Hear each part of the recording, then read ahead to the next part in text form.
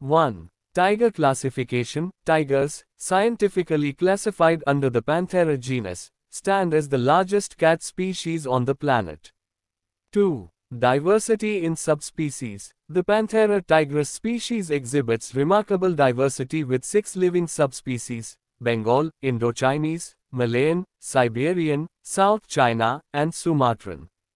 3. Bengal tiger dominance. Among these subspecies, the Bengal tiger claims dominance, populating the lush landscapes of India, Bangladesh, Bhutan, and Nepal.